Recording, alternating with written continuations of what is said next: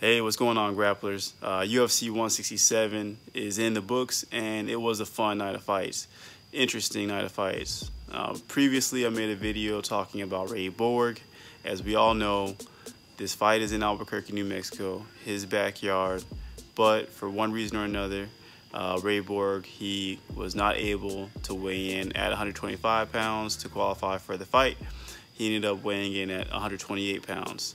And with that being said, for me, um, after I found out that, yeah, he took the one hour that the trainers allow for you to go run off the weight, work it off, come back and weigh in, he said that he still couldn't drop a single ounce and still weighed in at 128 pounds.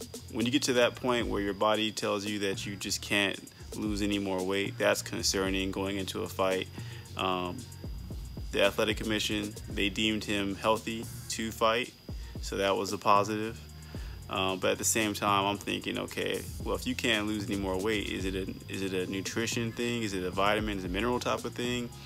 And even if you make it to the fight, are you going to have cardio problems? Uh, you know, typically, if you're struggling like that, your gas tank isn't where it needs to be at. Um, but pleasantly surprised that Ray Borg did a phenomenal job. Um, I said he needed to go out with a bang, and he did just that. He went out there and out wrestled his opponent. He pretty much did whatever he needed to do. He was going for submissions. He was taking them down at will, doing highlight takedowns, um, belly, belly to the sky, followed up to dropping him on the mat type of takedowns and was in full control the whole fight. That's what I was looking to see uh, to stay competitive. Ray Borg's been at the top of the flyweight division for a very long time, and I mean he's just a great competitor. But I mean, not making weight for the fourth time in a row is concerning. Um, so after his dominant victory, he was very, very apologetic to everybody about it.